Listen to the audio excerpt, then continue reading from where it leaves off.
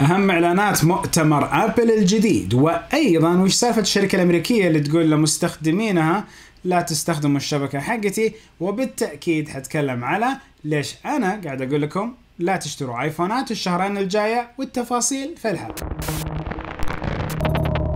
السلام عليكم ورحمة الله وبركاته. أخوكم فيصل السيف.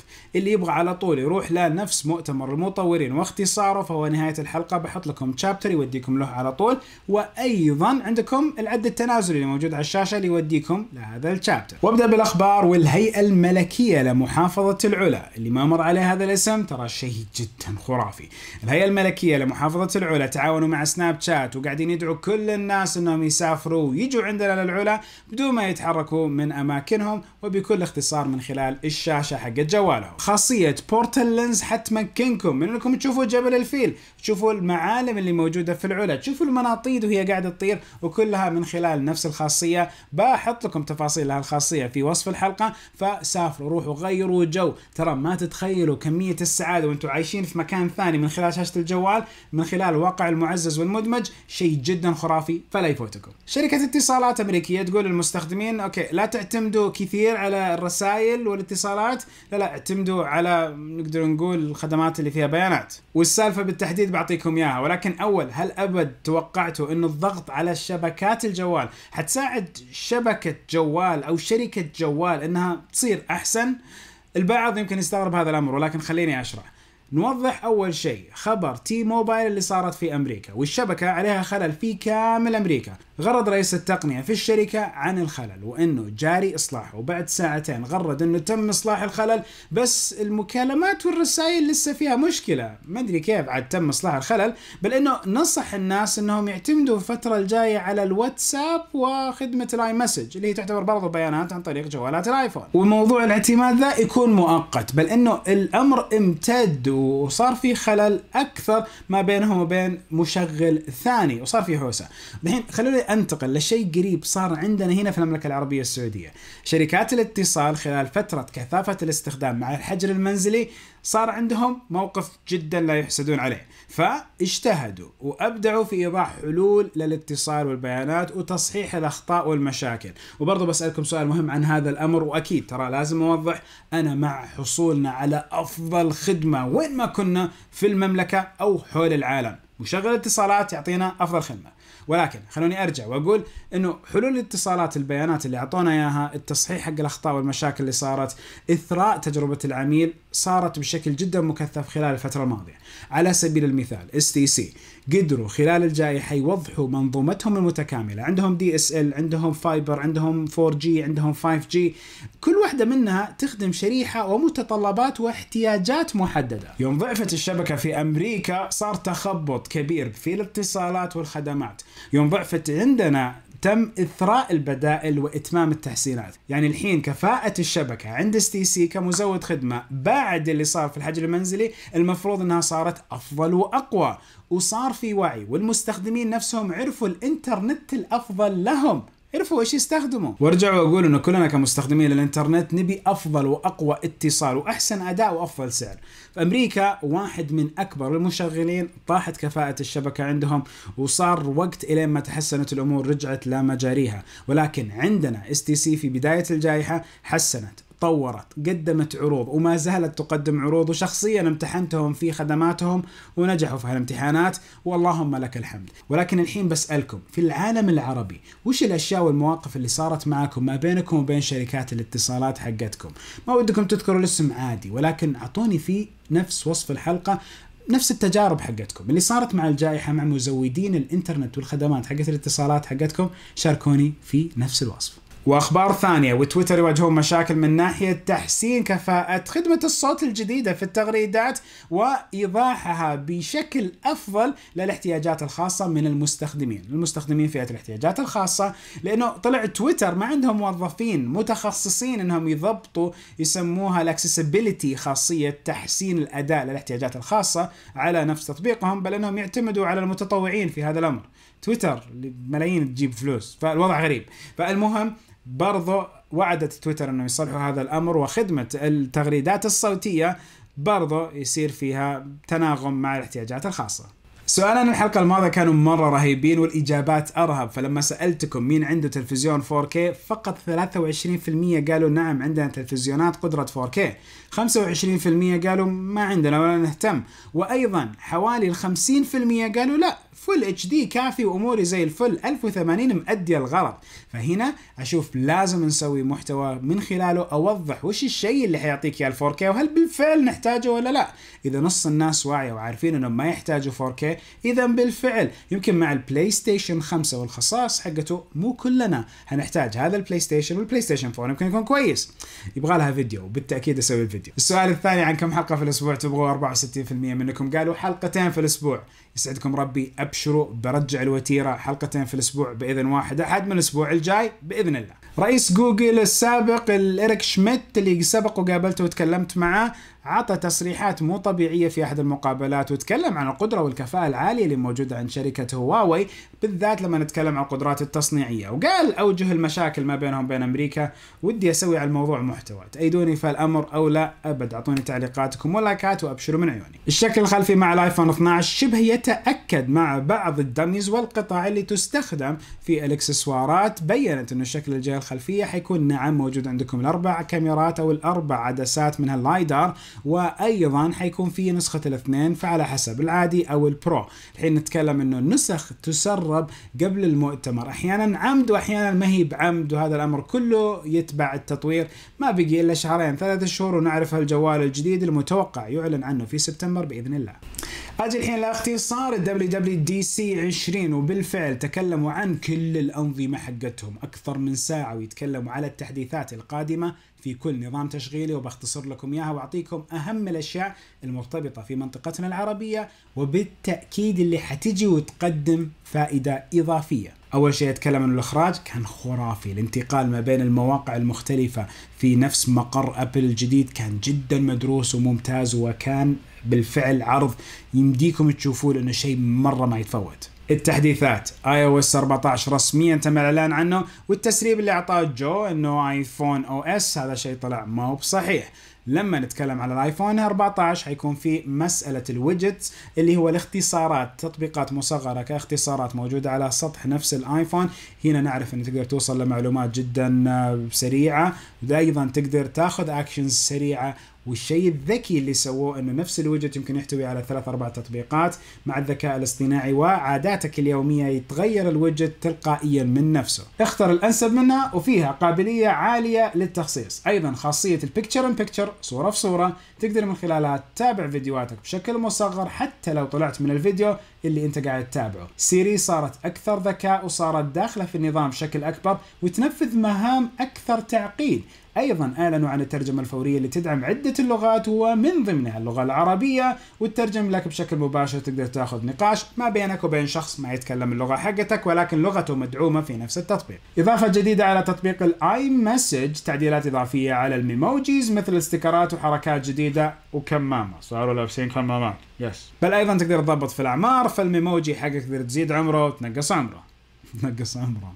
خرائط آبل تم إعادة تطويرها من جديد وصارت أفضل بكثير وقدمت خصائص رائعة وصار تطبيقهم ينافس خرائط جوجل بشكل جدا كبير. ضبطوا أمور حقت سياكل ما سياكل وأيضا روتينات ولكن محدودة على دول أخرى لسه ما جتنا بشكل رسمي. أيضا من ضمن الخرائط والشيء الكويس نقاط شحن السيارة كهربائيا ولكن موجودة أيضا في بعض الدول في العالم لسه ما حتجينا فخلينا ما نتكلم عليها. ولكن الشيء المتشوق له مفتاحك حق السيارة يصير موجود في جوالك ونسخة رقمية من هذا المفتاح. أول سيارة تم التعاون معاها بي إم دبليو السلسلة الخامسة أو الفئه الخامسة بلا صح سلسلة خامسة. الفئة الخامسة 2020 نتكلم على البي إم دبليو. يكون عندك المفتاح موجود على الجوال رقمي تم برمجته من نفس المفتاح الأساسي.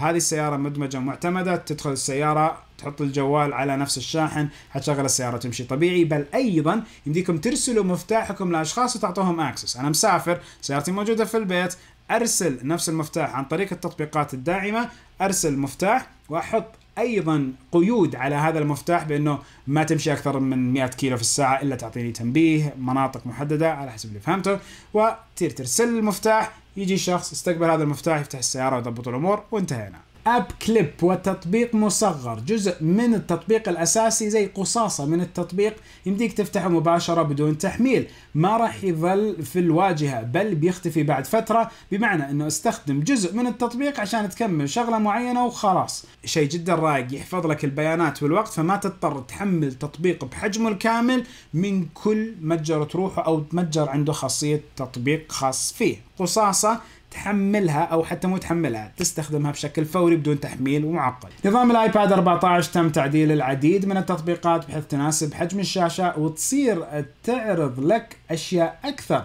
زي تطبيق الصور بيعرض لك خيارات أكثر وتقدر تسحب وتحرك الصور نفس الشيء لتطبيق الملفات والملاحظات. ما تخرب نفس تجربتك على الجهاز. أيضا البحث في الأجهزة تبحث لك في كل التطبيقات تقريبا وحتى داخل التطبيقات والمتصفح. تحسينات أكبر على القلم وشيء جدا رائق إنهم تكلموا على القلم والسماعات فالقلم حيكون تقدر تكتب في أي مكان على الشاشة وتلقائيا بيتم تحويل الكتابة حقتك إلى نص. والايربودز كإكسسوار تم تحديثه بإيجاد نمط محيطي يستخدم الخوارزميات مما يتيح لك مشاهدة المحتوى بصوت أجمل إذا المحتوى داعم وأيضا إذا السماعات انت حاطه وشكل التحديث داعم لها لأنه في إصدارات. ظاهر تدعم هالتحديث نظام الساعة بالنسخة السابعة الساعة بتعطيك خيارات أكثر بكثير لواجهات الساعة وقابلة للتعديل بحيث تعرض لك بس الشيء اللي يهمك فعلا وما تلزمك فقط بالخيارات اللي عرضتها لك أبل وتقدر تشارك الواجهات مع أصحابك أو تأخذها من مواقع مختلفة لو كان الموقع عارض هذه الواجهة ولو كان في تطبيق مو موجود عندك بتحصل خيار لتحميله. في الجانب الرياضي تمت إضافة خيارات رياضية جديدة منها الرقص كرياضة وتحديد عضلات معينة بشكل مفصل أكثر من زمان تغيير اسم التطبيق من Activity إلى Fitness أيضا تم إضافة مزايا لقراءة نومك وتحسينه أيضا صارت أول ساعة تأكد عليك أنك تغسل يدينك تعطيك على التنازل انت قاعد تغسل يدينك على أساس تعرف إنه غسلت يدينك بالشكل الصحيح. Yes. Yes. الحديث عن الخصوصية تم تقليل كمية البيانات اللي ممكن أحد يوصل لها والحفاظ على أهم البيانات في الجهاز نفسه وما يكون وضعه على السحابة. تم تطوير الحماية قدرة تحكم عالية في البيانات وصار في تنبيه يوضح لك لو التطبيق تخطى الأمور اللي أنت سمحتها له. تعرف لو التطبيق يتتبعك أو يجمع بيانات. تطوير في تطبيق Home وصار في خصوصية لمعلوماتك بشكل أكبر وأيضا تعاونوا مع شركات كبيرة في مجال الأنظمة الذكية للمنازل سواء الإضاءات أو الكاميرات المراقبة أو غيرها بحيث تعطيك خيارات أكثر. أبل TV قدم إضافات جديدة في تطبيق ال Arcade للألعاب من ناحية المشاركة وأيضا تطور مستواك في الألعاب. أيضا تقدر تشارك محتوى آيفونك بشكل أسلس وكامل للآبل TV. أما خدمة البث من آبل وصلت لمليار شاشة وصارت تدعم معظم التلفزيونات الذكية اللي بتنزل قريب. أيضا تم الإعلان عن مسلسل اسمه Foundation نظام الماك الجديد اسمه Big Sur تغير التصميم وصار أكثر بساطة. يعني صار نقدر نقول minimalist وتصاميم جديدة للأدوات والتطبيقات. وأيضا تم إضافة مركز المهام الموجود في الآيفون للماك وتصميم التنبيهات مشابهه للآيفون أيضا وصفحه للأدوات. سفاري تحسن بشكل جدا كبير. صار أسرع من كروم بفرق ملحوظ وتم زيادة الأمان فيه بحيث يقدر يقدم لك تقارير أمان لكل موقع ويبلغك إذا في اختراقات أو متابعات لنشاطك وتمت إضافة أيضا extensions extensions يعني نفس المواقع بعضها يمديك تعطيك كفاءات ممتدة تستخدمها وتستفيد منها وحيكون في قسم كامل لبحث ال extensions آه، على نفس المتجر. فهذا أمر أصلا موجود على جوجل والحين جاء على نفس سفاري. كل واحد يتبنى أمر جدا كويس. وآبل سيليكون أخيرا آبل تتحول لمنظومة ال SOCs okay في CPUs وحدات معالجة حاسوبية computer processing unit حلو؟ هذه المعالجات هي الأساس اللي تستخدمها شركات. تجيبها من انتل يجيبوها من اي ام دي ويحطوها في أجهزتهم. هذه في العادة تحتوي على GPU وحدة معالجة صور تحتوي أحيانا NPU neural processing unit وحدة معالجة عصبية وأيضا نفس ال CPU هذا شيء كويس. أما SOCs نتكلم على System on Chip منظومة كاملة أكبر بكثير محطوطة في هذه الرقاقة تشمل نفس ال GPU وال CPU وحتى أشياء حقت ال USB إدارة بطاريات أشياء كثيرة يتم وضعها وبالتالي حجم أكبر من ال CPU ولكن توفير طاقة ومهام أكثر يقدروا يسووها. وفي العادة الاس أو سيز تقدر تسويها على تطبيقاتك وال firmware والتطبيق اللي انت تستخدمه فيتم نسج الاثنين مع بعض. على عكس ال CPU اللي تحصل عليه من شركات مطورة للمعالجات وانت تحاول تضبط برنامجك عليها. لا لا حيصير في تناغم أكبر.